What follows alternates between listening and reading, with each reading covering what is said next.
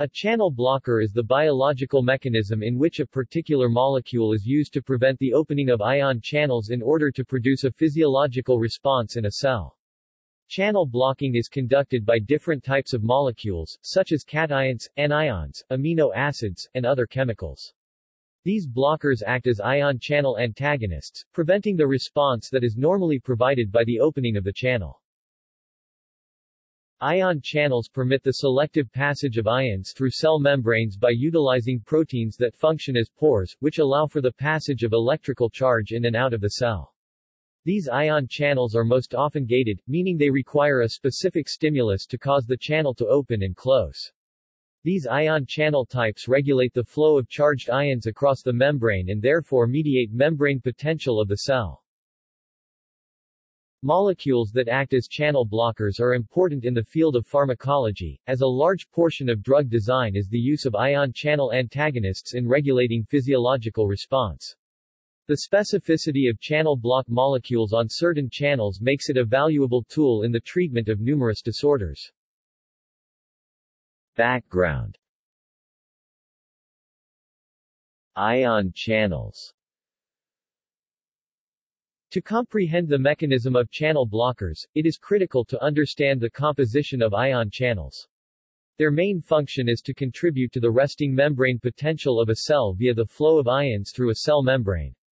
To accomplish this task, ions must be able to cross the hydrophobic region of a lipid bilayer membrane, an unfavorable process. To assist in ion transport, ion channels form a hydrophilic pore through the membrane which allows for the usually unfavorable transfer of hydrophilic molecules. Various ion channels have varying mechanisms of function. They include voltage-gated ion channels Ion channels that are activated by changes in membrane potential Ligand-gated ion channel Ion channels mediated by the binding of small molecules to the channel protein. Mechanosensitive ion channels. Ion channels that respond to stretch, vibration, or temperature changes. Light-gated ion channels. Ion channels that open or close in response to light molecules that act as ion channel blockers can be used in relation to any of these various channels. For example, sodium channels, which are essential to the production of action potentials, are affected by many different toxins. Tetrodotoxin TTX, a toxin found in pufferfish, completely blocks sodium ion transportation by blocking the selectivity filter region of the channel. Much of the structure of the pores of ion channels has been elucidated from studies that used toxins to inhibit channel function. Identity Tools such as X-ray crystallography and electrophysiology have been essential in locating the binding sites of open channel block molecules. By studying the biological and chemical makeup of ion channels, researchers can determine the makeup of the molecules that bind to certain regions. X-ray crystallography provides a structural image of the channel and molecule in question.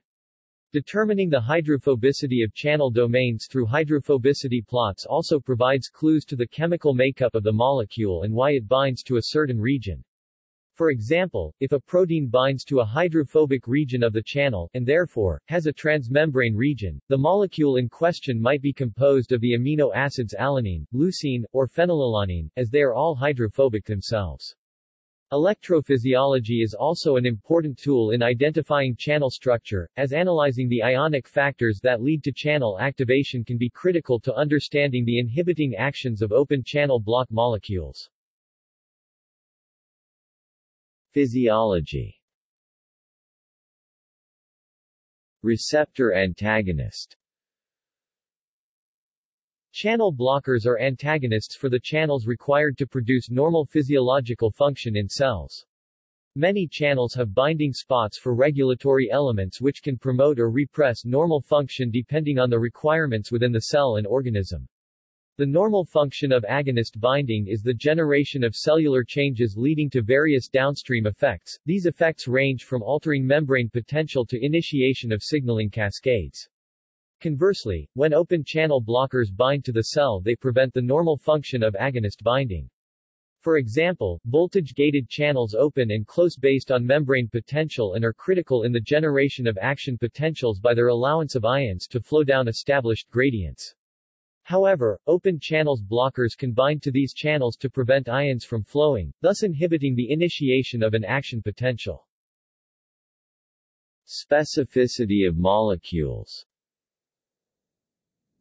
Many different organic compounds can act as channel blockers despite channel specificity.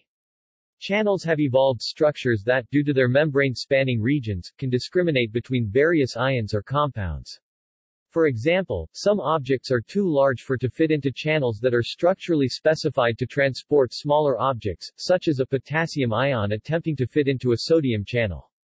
Conversely, some objects are too small to be properly stabilized by certain channel pores, such as a sodium ion attempting to pass through a potassium channel. In both cases, channel flux is not permitted. However, as long as a particular compound possesses adequate chemical affinity to a channel, that compound may be able to bind and block the channel pore. For example, TTX can bind and inactivate voltage-gated sodium channels, despite the fact that TTX is much larger and chemically different than sodium ions. Given the disparities in size and chemical properties between TTX and a sodium ion, this is an example of structure being used to block usually specific channels. Kinetics A channel block can be induced by many different types of organic compounds as long as they can bind to some portion of the target channel's pore. The kinetics of channel blockers are primarily understood though their use as anesthetics. Local anesthetics work by inducing a phasic block state in the targeted neurons. Initially, open channel blockers do not effectively prevent action potentials, as few channels are blocked and the blocker itself can be released from the channel either quickly or slowly depending on its characteristics. However, phasic blocks occur as repeated depolarization increases blockers' affinity for channels in the neuron. The combination of an increase in available channels and the change in channel conformation to increase blocker binding affinity are responsible for this action. Clinical significance Therapeutic uses Various neurodegenerative diseases have been associated with excessive NMDA receptor activation meant to mediate calcium-dependent neurotoxicity. Researchers have examined many different NMDA antagonists and their therapeutic efficacy, none of which have concluded to be both safe and effective. For years, researchers have been investigating the effects of an open channel block, memantine, as a treatment option for neurotoxicity. They hypothesized that the faster blocking and unblocking rates, and overall kinetics, of memantine could be the underlying reason for the clinical tolerance. As an uncompetitive antagonist, memantine should bring NMDA levels close to normal despite high glutamate concentration. Based on this information, researchers speculated that someday memantine could be used as an open-channel block to prevent increasing glutamate levels associated with neurotoxicity with little to no side effects compared to other treatment options. Alzheimer's disease Alzheimer S disease, a specific neurodegenerative disorder, is linked to glutaminergic neurotransmission interruptions that are believed to result in the staple cognitive symptoms of Alzheimer's. S. Researchers suggest that non-competitive NMDA receptor agonists can be used to aid in the management of these symptoms without producing severe side effects. As one of the only drugs approved for Alzheimer's treatment, memantine has been shown to allow excitatory postsynaptic currents to remain unaffected while decreasing the incidence and amplitude of inhibitory postsynaptic currents. Evidence supports the hypothesis that both the strong voltage dependency and fast kinetics of memantine may be responsible for the decreased side effects and cognitive progress. Cystic fibrosis Cystic fibrosis is a progressive, genetic disease that is linked to CF transmembrane regulator CFTR dysfunction. Blockage of this channel by certain cytoplasmic, negatively charged substances results in reduced chloride ion and bicarbonate anion transport, as well as reduced fluid and salt secretion. This results in a buildup of thick mucus, which is characteristic of cystic fibrosis. Pharmacology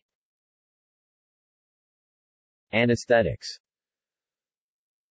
Channel blockers are essential in the field of anesthetics. Sodium channel inhibitors are used as both antiepileptics and antiarrhythmics, as they can inhibit the hyperexcitable tissues in a patient. Introducing specific sodium channel blockers into a tissue allows for the preferential binding of the blocker to sodium channels, which results in an ultimate inhibition of the flow of sodium into the tissue. Over time, this mechanism leads to an overall decrease in tissue excitation.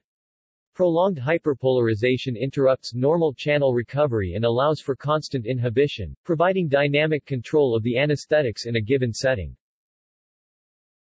Alzheimer's disease Excessive exposure to glutamate leads to neurotoxicity in patients with Alzheimer's disease. Specifically, overactivation of NMDA-type glutamate receptors have been linked to neural cell excitotoxicity and cell death. A potential solution to this is a decrease in NMDA receptor activity, without interfering so drastically as to cause clinical side effects. In an attempt to prevent further neurodegeneration, researchers have used memantine, an open channel block, as a form of treatment.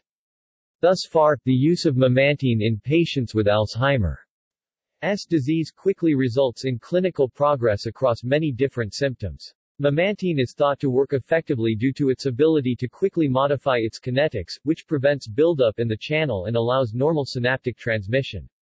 Other channel blockers have been found to block all NMDA receptor activity, leading to adverse clinical side effects. CFTR channel dysfunction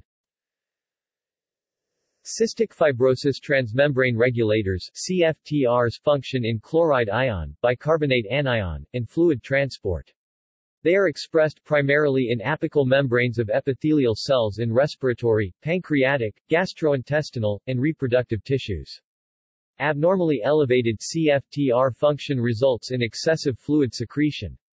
High-affinity CFTR inhibitors, such as CFTR-INH172 and GLYH101, have been shown to be efficient in treatment of secretory diarrheas.